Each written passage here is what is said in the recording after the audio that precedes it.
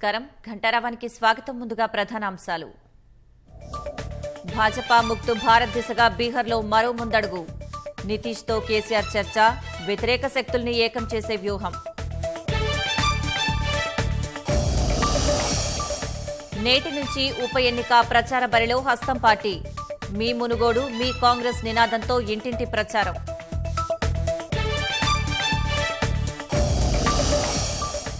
రాష్ట్రంలో ఉద్యోగ భర్తీ పురోగతిపై ప్రతివారం సమీక్ష. సోమవారం నివేదించాలన్న హరీష్ దశల వారీగా నోటిఫికేషన్లు. బంజారాహిల్స్లో సిద్ధమైన బంజారాల ఆత్మగౌరవ భవనాలు. త్వరలో ప్రారంభించనున్న సీఎం కేసీఆర్.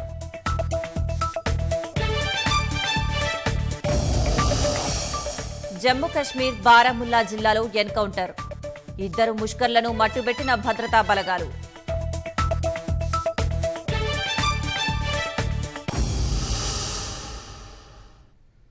భాజపా ముక్తు భారత్ లక్ష్యం దిశగా పాట్నా వేదికగా మరో అడుగు ముందుకు పడింది. ముఖ్యమంత్రులు కేసీఆర్ నితీష్ కుమార్ ఈ దిశగా చర్చలు జరిపారు.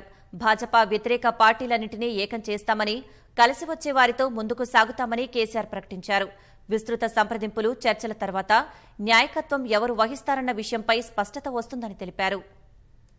కేంద్రంలో అధికారంలో ఉన్న భారతీయ జనతా పార్టీ ప్రభుత్వ విధానాలు వైఖరిని తీవ్రంగా వ్యతిరేకిస్తున్న ముఖ్యమంత్రి కేసీఆర్ జాతీయ రాజకీయాల్లో క్రియాశీల పాత్ర పోషించే దిశగా అడుగులు వేగవంతం చేస్తున్నారు. అవకాశం వచ్చినప్పుడల్లా ఆ దిశగా కసరత్తు కొనసాగిస్తున్నారు. గతంలో వివిధ రాష్ట్రాల్లో పర్యటించి ఆయా రాజకీయ పార్టీల నేతలతో ఆ దిశగా చర్చలు జరిపిన కేసీఆర్ తాజాగా బీహార్ ముఖ్యమంత్రి నితీష్ కుమార్ను కలిశారు. భాజపాతో ఇటీవల తెగదెంపులు చేసుకుని ఆర్జేడీతో కలిసి ప్రభుత్వాన్ని ఏర్పాటు చేసిన నితీష్ కుమార్ను కూడా కలుపుకుని పోవడం ద్వారా కమలం పార్టీ వ్యతిరేక శక్తులను ఏకం చేయాలన్నది కేసీఆర్ ఆలోచన. అందులో భాగంగానే గల్వాన్ ఘర్షణల్లో మృతి చెందిన సికింద్రాబాద్ అగ్ని ప్రమాదంలో మరణించిన బీహార్ వాసుల కుటుంబాలకు పరిహారం అందించే కార్యక్రమాన్ని ఏర్పాటు చేసి పట్నాకు వెళ్ళారు. బీహార్ ముఖ్యమంత్రి నితీష్ కుమార్ ఉప ముఖ్యమంత్రి తేజస్వి యాదవ్తో సమావేశమైన కేసీఆర్ దేశంలో నెలకొన్న పరిస్థితులు జాతీయ రాజకీయాలపై చర్చించారు. కేంద్ర ప్రభుత్వ వైఖరి పాటు వ్యతిరేకంగా పోరాడాల్సిన అవసరం సంబంధిత అంశాలపై మంత్రాలు జరిపారు. భాజపా పాలనతో దేశ తీవ్రంగా నష్టపోయిందన్న కేసీఆర్ దేశంలో భాజపా వ్యతిరేక శక్తులు భాజపా సర్కార్ను పారదోలాల్సిన అవసరం ఉందని అన్నారు నితీష్ కుమార్ కూడా భాజపా ముక్తు భారత్ కోరుకుంటున్నారని కేసీఆర్ చెప్పారు భాజపా వ్యతిరేక శక్తులన్నింటినీ కలుపుకుని పోతామని తెలిపారు आठ साल हुए नरेंद्र मोदी जी प्रधानमंत्री बने हुए हैं हर चीज में हर सेक्टर में देश का विनाश हो रहा है देश के हर वो आदमी परेशान है अगर किसी का भी सुधार हुआ होता तो देश का यह हालत नहीं बनता। मोदी जी से पहले चौदह प्रधानमंत्री रहे। किसी भी समय इतना बुरा गिरावट। हम सब लोग गवाह है, तेरह महीने किसानों को क्यों आंदोलन करना पड़ता है इस देश में? हमारे नदियों में सत्तर हज़ार टीएमसी पानी बहते हैं। आज तक देश ने सिर्फ़ बीस बाईस हज़ार टीएमसी ही इस्तेमाल किया है। जल युद्ध होते हैं। यहाँ तक के देश के राजधानी दिल्ली में पानी की उपलब्धि नहीं है, पचहत्तर साल के आज़ादी के बाद। हुआ कुछ नहीं है। विनाश ज़्यादा हुआ है। जितने भी विपक्षी दल है देश में, सारे एकजुट होकर, ताकत जुटाकर, बीजेपी मुक्त भारत का नारा देना चाहिए और बीजेपी मुक्त भारत को हासिल करना चाहिए। तभी देश फिर से कड़ा हो सकता है, आगे बढ़ सकता है। భాజపా వ్యతిరేక కూటమి నాయకత్వ అంశంపై కూడా కేసీఆర్ స్పష్టత ఇచ్చారు నాయకులు ఎవరన్నది ఒక్కరు నిర్ణయించే అంశం కాదన్న ఆయన అందరూ కూర్చుని చర్చించాక విస్తృత చర్చల అనంతరం తగిన సమయంలో చెబుతామని అన్నారు हम जो इस बात में एकजुट है इसको लेके हर संभव प्रयास करेंगे कुछ ही दिनों में हमारी बैठक होगी विस्तार में हम बात करेंगे जरूर किसी एक नेता चुनेंगे आप घबराहट क्यों है आप और कांग्रेस ऑन बोर्ड रहेगी मैं जो कह रहा हूँ विस्तार में बात होगा उस बात के बाद कौन बात होगा कौन नहीं होगा। उसका निर्णय लिया जाएगा उस बैठक में। నితీష్ కుమార్ తేజస్వి యాదవ్ ఇరువురు కేసీఆర్ పై ప్రశంసలు కురిపించారు కేసీఆర్ గురించి అవగాహన లేనివారే పసలేని విమర్శలు చేస్తున్నారని వాటిని పట్టించుకోవాల్సిన అవసరం లేదని నితీష్ వ్యాఖ్యానించారు మరింత శక్తిని కూడగట్టుకుని పట్టుదలతో ముందుకు సాగాలని ఆకాంక్షించారు కేంద్ర ప్రభుత్వంపై నితీష్ విమర్శల వర్షం కురిపించారు आपने काम किया कि मिशन भागीरथी योजना जिसके तहत गोदावरी एवं कृष्णा नदी से पानी लेकर तेलंगाना के गाँव गाँव तक आप लोगों ने पहुँचा दिया, लोगों को पीने के पानी का संकट था, ये कोई मामूली बात है? हम लोगों को तो बड़ी खुशी होती है। तो हम लोगों ने एक चीज़ तय किया था, हम लोग गंगा नदी का जल भी चार महत्वपूर्ण जगहों पर। ये जब हम लोगों ने सोचा, हम बहुत पहले एक बार सोचे थे, लेकिन हमारे अधिकारीगण उस पर बहुत काम नहीं किए।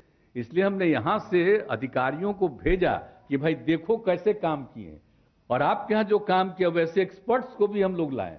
और अब देखिए, बहुत तेज़ी से काम हो रहा है। अब कैसे इतना बड़ा बड़ा काम आप किए हुए हैं साहब? कैसे कोई आपके बारे में आपको क्रिटिसाइज करता है? हमको समझ में नहीं आता है। जिनको काम नहीं करना है, खाली प्रचार प्रसार करना है, वैसे ही लोग इस तरह की बात करते हैं। एक अच्छी पहल, एक अच्छी शुरुआत हम कहेंगे। अगर इसी प्रकार से भारत के सभी राज्य एक दूसरे का दुख सुख में भागीदार बनेंगे तो हमारा देश जो है आगे बढ़ेगा, तरक्की करेगा। आज जिस प्रकार से मुख्यमंत्री चंद्रशेखर जी ने, नीतीश जी ने इस दुख के घड़ी में एक दूसरे का साथ दिया। कितना अच्छा है। एक पॉजिटिव एक मैसेज सभी लोगों में ये गया है। ఓవైపు భాజపా వ్యతిరేక పార్టీలతో సంప్రదింపులు జరుపుతూనే కేసీఆర్ మరోవైపు దేశవ్యాప్త రైతు సంఘాలతో మంతనాలు జరుపుతున్నారు. ఇరవై ఆరు రాష్ట్రాలకు చెందిన రైతు సంఘాల నేతలతో ఇటీవల సమావేశమైన ఆయన వారిలో కొంతమందిని తనతో పాటు బీహార్ కూడా తీసుకెళ్ళారు. త్వరలోనే రైతు సంఘాలతో మరోమారు సమావేశం కానున్నారు. కాంగ్రెస్ నేడు మునుగోడు ఉప ఎన్నిక ప్రచార బరిలోకి దిగనుంది. గడప గడపకు కాంగ్రెస్ అనే నినాదంతో మండలవారీగా ఇన్ఛార్జీలు ఈ ప్రచారంలో పాల్గొంటారు. ఈ నెల ఆరో తేదీ వరకు గ్రామాల్లో ఇంటింటికి తిరుగుతూ మీ మునుగోడు మీ కాంగ్రెస్ అనే నినాదాన్ని జనంలోకి తీసుకెళ్ళాలని పీసీసీ నిర్ణయించింది. మునుగోడు ఉప ఎన్నికకు సంబంధించి అభ్యర్థి ప్రకటన కొంత ఆలస్యం అయ్యే అవకాశం ఉండడంతో క్యాడర్ చేజారకుండా పీసీసీ చర్యలు చేపట్టింది. ఇప్పటికే రాజీవ్ గాంధీ జయంతి రోజున పొర్లగడ్డ తండాలో పార్టీ పతాకాన్ని ఎగురవేసి పీసీసీ అధ్యక్షుడు రేవంత్ రెడ్డి ప్రచారాన్ని లాంఛనంగా ప్రారంభించారు. భాజపా తెరాస నేతలు క్షేత్రస్థాయిలో ఉంటూ వ్యూహాలు అమలు చేస్తుండటంతో ధీటుగా ఎదుర్కోవాలని నిర్ణయించింది. ఇందులో భాగంగా మండల ఇన్ఛార్జీలను నియోజకవర్గంలో పూర్తి స్థాయిలో రంగంలోకి దిగాలని రేవంత్ రెడ్డి ఆదేశించారు. మన మునుగోడు మన కాంగ్రెస్ అనే నినాదాన్ని ఇంటింటికి తీసుకెళ్ళాలని తెలిపారు. స్థానిక నాయకులను కలుపుకుని జనంలోకి వెళ్ళాలని భాజపా తెరాస వైఖరిని ఎండగట్టాలని స్పష్టం చేశారు. ప్రధానంగా రాజగోపాల్ రెడ్డి స్వార్థ ప్రయోజనాల కోసమే పార్టీని వీడారని ఆర్థిక ఒప్పందంలో భాగంగానే భాజపాలో చేరారనేది జనంలోకి తీసుకెళ్ళాలని పీసీసీ తెలిపింది. మండలాలు పంచాయతీల వారీగా భాజపా తెరాసలో చేరిన నేతలపై విస్తృతంగా ప్రచారం నిర్వహించడం ద్వారా ఆయా పార్టీలపై వ్యతిరేకత పెంచాలని నిర్ణయించింది. ఈ నెల మూడున ముఖ్య నాయకులు ప్రచారంలో పాల్గొని ఆ తరువాత నియోజకవర్గంలో మీడియాతో మాట్లాడనున్నారు. పీసీసీ అధ్యక్షుడు రేవంత్ రెడ్డి సీఎల్పీ నేత భట్టి విక్రమార్క ఎంపీలు కోమటిరెడ్డి వెంకటరెడ్డి ఉత్తమ్ కుమార్ రెడ్డిలు ప్రచార కమిటీ చైర్మన్ మధుయాష్కి ఇందులో పాల్గొంటారని తెలుస్తోంది. అభ్యర్థి ఎంపిక విషయంలో స్పష్టత ఇవ్వకపోవడంతో ఇప్పటికే పలువురు ఎంపీటీసీలు సర్పంచీలు పార్టీని వీడారు. ఈ నేపథ్యంలో క్షేత్రస్థాయిలో పర్యటించడం వల్ల పార్టీ క్యాడర్లో ఆత్మస్థైర్యం పెంపొందించాలని పీసీసీ నిర్ణయించింది. ఎన్నికల షెడ్యూల్ ప్రకటించక ముందే అభ్యర్థిని ప్రకటించడం సరికాదని భావిస్తోంది. అన్ని అంశాలపై చర్చించి ఆశావహుల అభిప్రాయాలను కూడా తీసుకుని సమగ్ర నివేదికను అధిష్టానానికి పంపింది. ఆశావహుల్లో టికెట్ ఎవరికి వస్తుందనే విషయాన్ని పక్కనబెట్టి జనంలోకి వెళ్ళడం ద్వారా పార్టీ బలోపేతమవుతుందని రాష్ట్ర నాయకత్వం భావిస్తోంది. ఇబ్రహీంపట్నం ఘటనపై ఎలాంటి నివేదిక లేకుండా వైద్యుల లైసెన్సు రద్దు చేస్తామనడం సిగ్గుచేటని భాజపా రాష్ట్ర అధ్యక్షుడు బండి సంజయ్ విమర్శించారు. ఆసుపత్రిలో ప్రభుత్వం సరైన వస్తువులు కల్పించడం లేదని ఆరోపించారు. ప్రభుత్వ తప్పిదాన్ని కప్పిపుచ్చి మంత్రిని రక్షించడం కోసం వైద్యులను బలిచేసే కుట్ర చేస్తున్నారని మండిపడ్డారు. వెంటనే హరీష్ రావును మంత్రివర్గం నుంచి బర్తరఫ్ చేయాలని డిమాండ్ చేశారు. ఉద్యోగాల నియామక ప్రక్రియ పురోగతిని రాష్ట్ర ప్రభుత్వం ఇక నుంచి ప్రతి వారం సమీక్షించనుంది. ఆలస్యం చేయకుండా దశల వారీగా నోటిఫికేషన్లు జారీ చేసేలా అవసరమైన చర్యలు తీసుకోనుంది. అనుమతులు నోటిఫికేషన్లు సహా పురోగతిని ప్రతి సోమవారం నివేదించాలని సాధారణ పరిపాలన శాఖను ఆర్థిక శాఖ మంత్రి హరీష్ రావు ఆదేశించారు. రాష్ట్రంలో భారీ ఎత్తున ఉద్యోగాల నియామక ప్రక్రియ చేపట్టనున్నట్లు ముఖ్యమంత్రి కేసీఆర్ బడ్జెట్ సమావేశాల్లో ప్రకటించారు. వివిధ శాఖల్లో ఎనభై వేల పోస్టులను భర్తీ చేయనున్నట్లు తెలిపారు. అందుకు అనుగుణంగా ప్రక్రియ కొనసాగుతోంది. ఇప్పటివరకు యాభై రెండు వేల నాలుగు వందల అరవై ఉద్యోగాల భర్తీకి రాష్ట్ర ప్రభుత్వం అనుమతి ఇచ్చింది. అందుకు అనుగుణంగా ఆర్థిక శాఖ ఉత్తర్వులు జారీ చేసింది. అందులో గ్రూప్ వన్ పోలీసుల ఉద్యోగాలు వైద్య ఆరోగ్య శాఖలోని ఉద్యోగాలు సహా ఇతరత్రా ఉద్యోగాలకు సంబంధించి నోటిఫికేషన్లు జారీ చేశారు. ఆయా ఉద్యోగాల నియామక ప్రక్రియ వివిధ దశల్లో ఉంది. పోలీసు వైద్య ఆరోగ్య శాఖల్లో నియామకాల ప్రక్రియ వేగంగా సాగుతోంది. గ్రూప్ వన్ ప్రిలిమ్స్ పరీక్షా తేదీని కూడా పబ్లిక్ సర్వీస్ కమిషన్ ఇప్పటికే ప్రకటించింది. అయితే ప్రభుత్వం అనుమతులు జారీ చేసినంత వేగంగా నోటిఫికేషన్లు విడుదల కావడం లేదన్న భావన ఉంది. ఉద్యోగాల నియామక పురోగతిపై ఇటీవల ఆర్థిక శాఖ మంత్రి హరీష్ రావు నిర్వహించిన సమీక్షలో ఈ విషయమై చర్చ జరిగింది. అనుమతుల పరంగా ప్రక్రియ పూర్తయినప్పటికీ నోటిఫికేషన్లు జారీ ఆలస్యం ఎందుకని మంత్రి ప్రశ్నించారు. సంబంధిత అధికారులపై ఒకంత ఆగ్రహం కూడా వ్యక్తం చేసినట్లు సమాచారం. ప్రభుత్వ పరంగా పూర్తి స్థాయిలో సిద్ధంగా ఉండి అనుమతులు ఇచ్చినప్పటికీ నోటిఫికేషన్లలో ఆలస్యం తగదని స్పష్టం చేశారు. వైద్య ఆరోగ్య శాఖలో నోటిఫికేషన్ల జారీ ప్రక్రియ వేగవంతంగా సాగుతోంది. అనుమతులకు అనుగుణంగా చేయాల్సిన సవరణలు మార్పులను పూర్తి చేసి నోటిఫికేషన్లు జారీ చేశారు. ఇదే తరహాలో మిగతా అన్ని శాఖలు ప్రక్రియ పూర్తి చేయాలని మంత్రి స్పష్టం చేశారు. నియామక సంస్థలు నోటిఫికేషన్ల జారీ ప్రక్రియను వేగవంతం చేయాలని చెప్పారు. ఉద్యోగాల నియామక ప్రక్రియ పురోగతిపై ఇక నుంచి ప్రతివారం సమీక్షించాలని నిర్ణయించారు. అనుమతులు సవరణలు నోటిఫికేషన్ల జారీ సంబంధిత ప్రక్రియపై ప్రతివారం నివేదిక ఇవ్వాలని సాధారణ పరిపాలన శాఖకు స్పష్టమైన ఆదేశాలు జారీ చేశారు. ప్రక్రియను వేగవంతం చేసి దశలవారీగా నోటిఫికేషన్లు జారీ చేయాలన్న ఆలోచనలో ప్రభుత్వం ఉంది. గ్రూప్ టూ గ్రూప్ త్రీ పోస్టులకు కూడా అనుమతి ఇచ్చిన నేపథ్యంలో అభ్యర్థులకు ఇబ్బందులు లేకుండా సంబంధిత నోటిఫికేషన్లు జారీ చేయనున్నారు. ఇంజనీరింగ్ ఉద్యోగాలకు సంబంధించి కూడా నోటిఫికేషన్లు విడుదల కానున్నాయి. గిరిజనుల ఆత్మగౌరవ భవనాలు త్వరలోనే అందుబాటులోకి రానున్నాయి. బంజారాలు ఆదివాసీల కోసం రాష్ట ప్రభుత్వం హైదరాబాద్ బంజారా లో ప్రతిష్టాత్మకంగా నిర్మించిన సేవాలాల్ బంజారా భవన్ కుమరంభీం ఆదివాసీ భవన్లు త్వరలోనే ప్రారంభం కానున్నాయి. భవనాల ప్రారంభోత్సవం సందర్భంగా గిరిజనులతో భారీ బహిరంగ సభ నిర్వహించాలని సర్కారు భావిస్తోంది. వివిధ సామాజిక వర్గాలకు ఆత్మగౌరవ భవనాల్ని నిర్మించాలని నిర్ణయించిన రాష్ట్ర ప్రభుత్వం అందులో భాగంగా హైదరాబాద్ బంజారా హిల్స్లో బంజారా ఆదివాసీ వర్గాల కోసం భవనాల్ని నిర్మించింది. ఆయా వర్గాల ఆత్మగౌరవానికి ప్రతీకలుగా సేవాలాల్ బంజారా భవన్ కుమురం భీం ఆదివాసీ భవన్ల నిర్మాణం జరిగింది. ఎకరానికి పైగా విస్తీర్ణంలో విశాలంగా ఈ భవనాల్ని నిర్మించారు. ఆయా సామాజిక వర్గాల సంస్కృతి సంప్రదాయాలకు అద్దం పట్టేలా నిర్మాణాలు జరగాలన్న ముఖ్యమంత్రి కేసీఆర్ ఆదేశాలకు అనుగుణంగా భవనాల నిర్మాణం జరిగింది. కొద్ది రోజుల క్రితమే వీటి నిర్మాణం పూర్తయింది.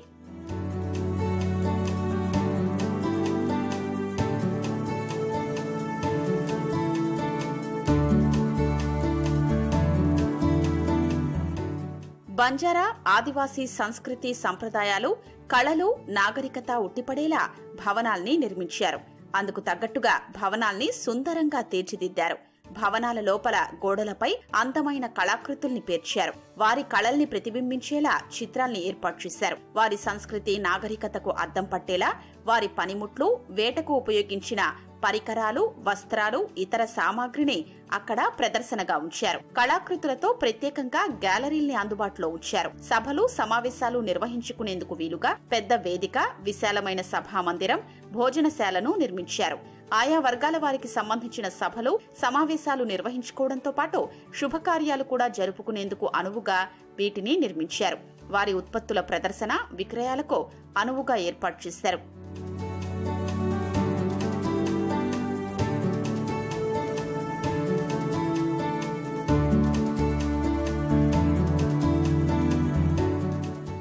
వివిధ జిల్లాల్లో నిర్మాణాలు పూర్తి చేసుకున్న సమీకృత కలెక్టరేట్లను ప్రారంభిస్తున్న ముఖ్యమంత్రి కేసీఆర్ బంజారా ఆదివాసీ భవన్లను త్వరలోనే ప్రారంభించాలని నిర్ణయించారు. భవనాల ప్రారంభ వేళ ఆయా సామాజిక వర్గాల ప్రతినిధుల్ని భారీ ఎత్తున సమీకరించి బహిరంగ సభ నిర్వహించాలని రాష్ట్ర ప్రభుత్వం భావిస్తోంది.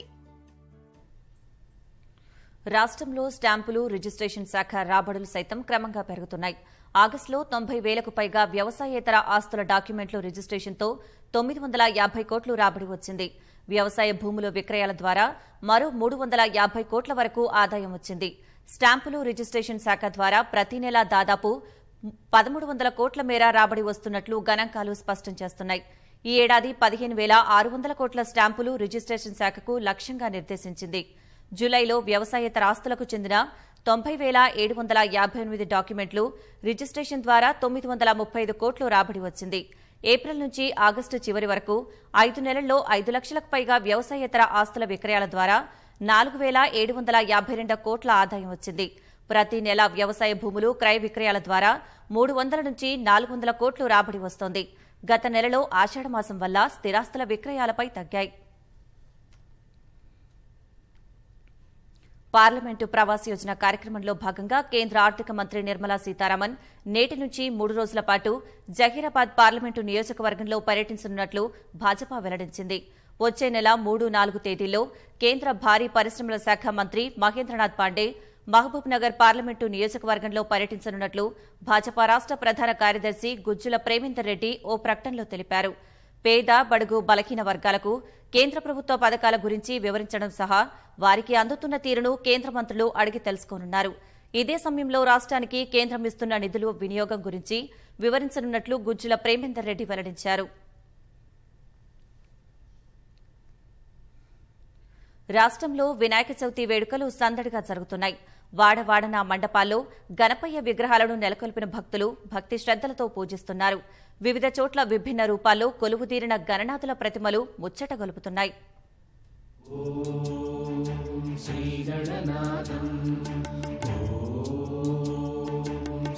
గణనాథం రాష్ట్ర వ్యాప్తంగా వినాయక చవితి సందడి నెలకొంది. అందంగా అలంకరించిన మండపాల్లో గణనాథులు కొలువు తీరారు. విఘ్నేశ్వరుడి ఆలయాల్లో భక్తులు ప్రత్యేక పూజలు నిర్వహించారు. ప్రత్యేక భజనలతో స్వామివారిని కొలిచారు. వరంగల్ జిల్లా నర్సంపేటలో ఎమ్మెల్యే ఆరూరి రమేష్ వినాయక విగ్రహ ప్రతిష్టాపన కార్యక్రమంలో పాల్గొన్నారు. మట్టితో తయారు చేసిన గణనాథులను ప్రతిష్ఠించి పర్యావరణాన్ని కాపాడాలని ఎమ్మెల్యే కోరారు. కాజీపేటలోని శ్వేతార్క గణపతి ఆలయానికి భక్తులు పోటెత్తారు.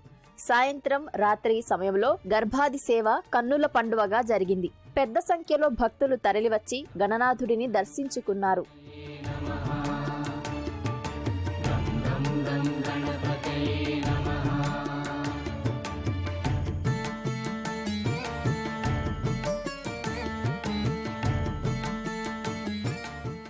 హనుమకొండలోని గుడిబండల్ ప్రాంతంలో ప్రధాని మోదీ భుజాలపై ఎత్తుకొని ఉన్న వినాయకుని విగ్రహాన్ని యువకులు ప్రతిష్ఠించారు. భాజపా అధికార ప్రతినిధి రాకేష్ రెడ్డి ఈ వినాయకుని వద్ద ప్రత్యేక పూజలు నిర్వహించారు.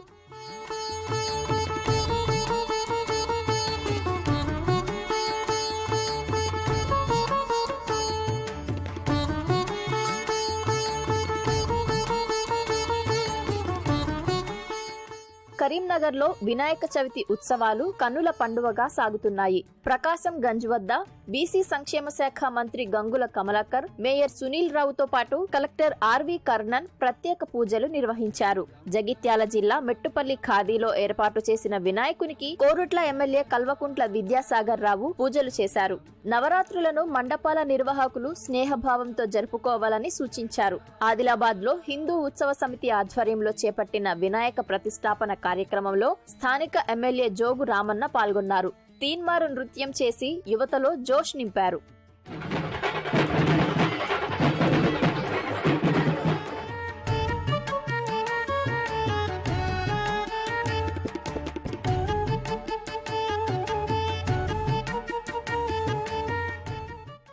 కులమతాలకు అతీతంగా ఐక్యత చాటేలా ప్రతి ఒక్కరూ సంతోషంగా వినాయక చవితి ఉత్సవాలు నిర్వహించుకోవాలని పర్యాటక శాఖ మంత్రి శ్రీనివాస్ గౌడ్ పేర్కొన్నారు. మహబూబ్ నగర్ పాతపాలమూరులో శివరామాంజనేయ భక్త సమాజం ఆధ్వర్యంలో ప్రతిష్ఠించిన వినాయక మండపానికి చేరుకుని ప్రత్యేక పూజలు చేశారు.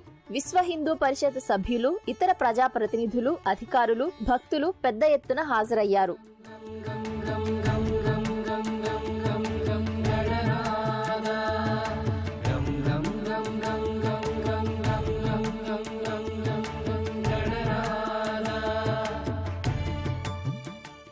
సిద్దిపేట జిల్లా హుస్నాబాద్లోని సుభాష్ నగర్ గోదాం గడ్డ వద్ద మండపానికి ఇరవై ఐదు అడుగుల వినాయక విగ్రహాన్ని మహిళల కోలాటాలు నృత్యాల నడుమ ఊరేగింపుగా తీసుకెళ్ళారు. వినాయక విగ్రహాలను తరలించేప్పుడు డీజేలు వాడకూడదన్న పోలీసు శాఖ హెచ్చరికలతో ప్రశాంత వాతావరణంలో మండపాలకు విగ్రహాలను తీసుకెళ్ళారు.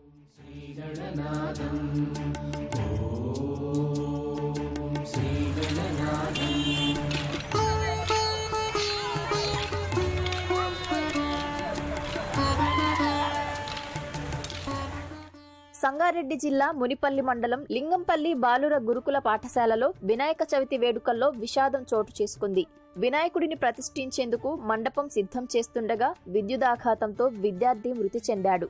మెదక్ జిల్లా పాపన్నపేట మండలం మల్లంపేటకు చెందిన పదో తరగతి విద్యార్థి సాయి కిరణ్ గౌడ్ మృతితో విషాద ఛాయలు అలుముకున్నాయి. భాగ్యనగరంలో గణేష్ నవరాత్రి ఉత్సవాలు వైభవంగా సాగుతున్నాయి.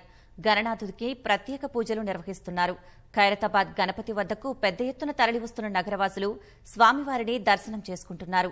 సుఖ సంతోషాలతో ఉండేలా ఆశీర్వదించాలని వేడుకుంటున్నారు.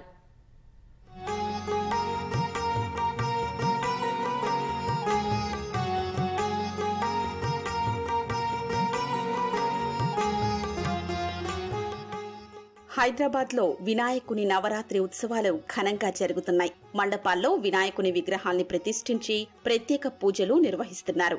ఖైరతాబాద్లో తొలిసారిగా వినాయకుని మట్టి విగ్రహం ఏర్పాటు చేశారు. యాభై అడుగుల విగ్రహం భక్తుల్ని ఆకట్టుకుంటోంది. పంచముఖ మహాలక్ష్మి గణపతి రూపంలో భక్తులకు దర్శనమిస్తున్నాడు. లంబోదరుడికి కుడివైపున శ్రీ షణ్ముఖ సుబ్రహ్మణ్య స్వామి ఎడమవైపున శ్రీ త్రిశక్తి మహాగాయత్రీదేవి కొలువుదీరారు. కోటిన్నర రూపాయలతో మహాగణపతి విగ్రహం తయారు చేశారు. ఖైరతాబాద్ మహాగణపతి తొలి పూజలో ప్రముఖులు పాల్గొన్నారు. మండపం వద్ద పోలీసులు భారీ బందోబస్తు ఏర్పాటు చేశారు. ఖైరతాబాద్ పంచముఖ మహాలక్ష్మి గణపతిని కేంద్ర మంత్రి కిషన్ రెడ్డి మాజీ కేంద్ర మంత్రి ప్రకాష్ జావడేకర్ దర్శించుకున్నారు.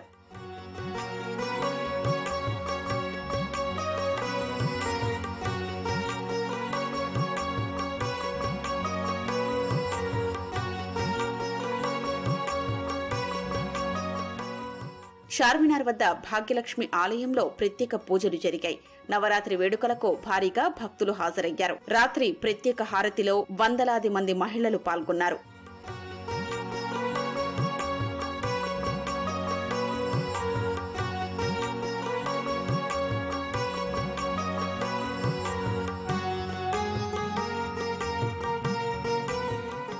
బాలాపూర్ ఉత్సవాల్లో విద్యాశాఖ మంత్రి సబితా ఇంద్రారెడ్డి ప్రత్యేక పూజలు నిర్వహించారు. ఖైరతాబాద్ వినాయకునికి ఎంత విశిష్టత ఉందో బాలాపూర్ వినాయకునికి అంతే విశిష్టత ఉందని తెలిపారు. రాష్ట్ర ప్రజలంతా సుఖ సంతోషాలతో ఉండాలని ఆకాంక్షించారు.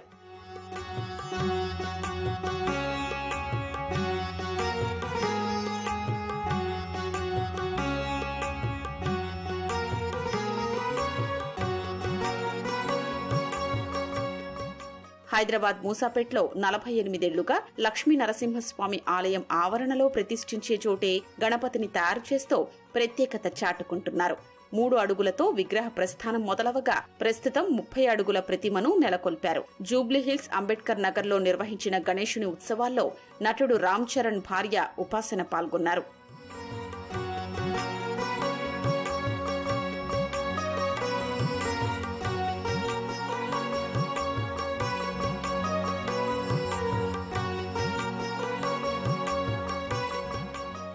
హైదరాబాద్లో పలు చోట్ల నెలకొల్పిన సరికొత్త రూపాల్లో గణనాథుల విగ్రహాలు ఆకట్టుకుంటున్నాయి. సికింద్రాబాద్ హస్మత్పేట వద్ద హనుమాన్ సేన మండల్ ఆధ్వర్యంలో ఏర్పాటు చేసిన గణనాథుడు భక్తుల్ని విశేషంగా ఆకట్టుకుంటున్నాడు. ముంబై నుంచి ప్రత్యేకంగా విగ్రహాన్ని తయారు చేయించి తీసుకొచ్చినట్లు నిర్వాహకులు తెలిపారు. గుర్రాలపై కైలాస పురవీధుల్లో సంచరించేలా ఏర్పాటు చేసిన విగ్రహం భక్తుల్ని మంత్రముగ్ధుల్ని చేసింది.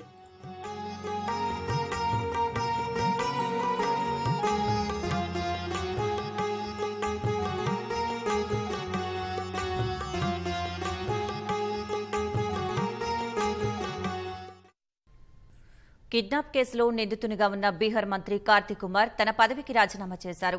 రెండు వేల పద్నాలుగులో జరిగిన ఓ కిడ్నాప్ కేసులో మంత్రి నిందితుడిగా ఉండడంతో విపక్షాలు రాష్ట్ర వ్యాప్తంగా భారీ ఆందోళన చేశాయి. ఈ నిరసనల నేపథ్యంలో కార్తీక్ కుమార్ను న్యాయశాఖ బాధ్యతల నుంచి తప్పించిన బీహార్ సీఎం నితీష్ కుమార్ ఆయనకు తక్కువ ప్రాధాన్యత కలిగిన చెరకు శాఖను అప్పగించారు. దీంతో బుధవారం రాత్రి కార్తీక్ కుమార్ తన మంత్రి పదవికి రాజీనామా చేశారు. కార్తిక్ కుమార్ రాజీనామాను గవర్నర్ ఆమోదించినట్లు బీహార్ ముఖ్యమంత్రి కార్యాలయం ప్రకటన విడుదల చేసింది. రెవెన్యూ మంత్రి అలోక్ కుమార్ మెహతాకు చెరుకు శాఖను అదనంగా అప్పగించారు. ఆర్జేడీ నుంచి ఎమ్మెల్సీగా ఉన్న కార్తిక్ కుమార్ నితీష్ కుమార్ మంత్రివర్గంలో న్యాయశాఖ మంత్రిగా బాధ్యతలు చేపట్టారు. కార్తీక్ కుమార్ బీహార్లో రాజకీయంగా శక్తివంతమైన భూమిహార్ అగ్రవర్గానికి చెందిన వ్యక్తి కావడంతో ఆర్జేడీ చీఫ్ తేజస్వి యాదవ్ ఆయనకు నితీష్ కుమార్ మంత్రివర్గంలో చోటు కల్పించారు. దేశంలో కరోనా వైరస్ విజృంభణ కొనసాగుతున్న దృష్ట్యా వీలైనంత తొందరగా బూస్టర్ డోసులు తీసుకోవాలని national technical advisory group on immunisation chairman doctor NK Arora సూచించారు. ముందుగా తీసుకున్న వ్యాక్సిన్ల నుంచి పొందిన యాంటీబాడీలు ఆరు నుంచి ఎనిమిది నెలల్లో తగ్గిపోతుండటంతో వీలైనంత త్వరగా ప్రికాషనరీ డోసు తీసుకోవాలని స్పష్టం చేశారు. మన ఆరోగ్యానికి బూస్టర్ డోసు ఇన్సూరెన్స్గా పనిచేస్తుందని అరోరా అన్నారు. గడిచిన ఎనిమిది నెలల్లో ఆసుపత్రి పాలైన కరోనా రోగుల్లో తొంభై శాతం మంది బూస్టర్ డోస్ తీసుకొని వారేనని ఆయన పేర్కొన్నారు. జమ్మూ కాశ్మీర్లో ఇద్దరు ఉగ్రవాదులను భద్రతా బలగాలు మట్టుపెట్టాయి. బారాముల్లా జిల్లాలోని సోపూర్ ప్రాంతంలో ఉగ్రవాదులు భద్రతా బలగాల మధ్య జరిగిన కాల్పుల్లో ఇద్దరు ముష్కరులు హతమయ్యారు. స్థానికులపై దాడి చేసేందుకు కుట్ర పన్నుతున్నారన్న సమాచారంతో భద్రతా బలగాలు ముమ్మర తనిఖీలు చేపట్టాయి. ఈ క్రమంలో ఉగ్రవాదులు భద్రతా దళాలపైకి కాల్పులకు తెగబడ్డారు. ధీటుగా స్పందించిన బలగాలు ఇద్దరు ముష్కర్లను మట్టుపెట్టాయి హతమైన ఉగ్రవాదులను సోపూర్ నివాసి మహ్మద్ రఫీ పుల్వామా నివాసి కైసర్ అష్రఫ్గా గుర్తించారు. వీరిద్దరూ జైషే మహ్మద్ ఉగ్రవాద సంస్థకు చెందినవారని అనేక ఉగ్రవాద నేరాల్లో కేసుల్లో వీరికి ప్రమేయం ఉందని జమ్మూ కాశ్మీర్ అడిషనల్ డీజీపీ విజయ్ కుమార్ తెలిపారు. ఎన్కౌంటర్ సమయంలో ఒక పౌరుడు కూడా గాయపడ్డాడని అతడిని ఆసుపత్రికి తరలించామని పరిస్థితి నిలకడగా ఉందని వెల్లడించారు. బంగ్లాదేశీ జిహాదీ సంస్థలతో సంబంధం ఉన్న ఓ మదర్సాను అసోం ప్రభుత్వం కూల్చివేసింది. అల్ఖైదా ఉగ్రవాద సంస్థలతో సంబంధాలున్నాయన్న ఆరోపణలతో బొంగాయిగావ్ జిల్లాలో కైపతరీమా అరిఫ్ అనే మదర్సాను నేలమట్టం చేసింది. ఇటీవల మదర్సాలో తనిఖీలు నిర్వహించి పోలీసులు ఉగ్రవాద సంస్థలకు చెందిన కీలక పత్రాలను స్వాధీనం చేసుకున్నారు. అనంతరం ఉపాధ్యాయుని అరెస్ట్ చేసి దర్యాప్తు చేస్తున్నారు. మరోవైపు నిబంధనలను ఉల్లంఘించి మదర్సాను నిర్మించడం వల్లే భవనాన్ని కూల్చివేసినట్లు అధికారులు తెలిపారు. మనుషులు నివసించేందుకు వీలు లేకుండా మదర్సాను నిర్మించారని పేర్కొన్నారు. మదర్సాలోని పిల్లలను వారి ఇళ్ళకు సురక్షితంగా తరలించిన తర్వాతే భవనాన్ని కూల్చివేసినట్లు వివరించారు. అంతకుముందు మరో మదర్సాను కూడా అసోం అధికారులు నేలమట్టం చేశారు. బంగ్లాదేశ్ ఉగ్రవాద సంస్థ అన్సరుల్ ఇస్లాంతో సంబంధం ఉన్న కేసులో అరెస్టైన ముఫ్తీ ముస్తఫాకు చెందిన మదర్సాను కూల్చివేశారు. అతడితో పాటు మరో నిర్వాహకుడిని బర్పేట పోలీసులు అరెస్ట్ చేశారు. హైదరాబాద్లోని కొత్తగా ఏర్పాటు చేసిన ఓ బంగారు ఆభరణాల షోరూం ప్రారంభోత్సవంలో యువ కథానాయికలు ఐశ్వర్య స్రవంతితో పాటు పలువురు మోడల్ సందడి చేశారు. సంప్రదాయ వస్త్రాల్లో అమ్మాయిలు బంగారు ఆభరణాలు ధరించి అమ్మాయిలు తమ అందచందాలతో ఆకట్టుకున్నారు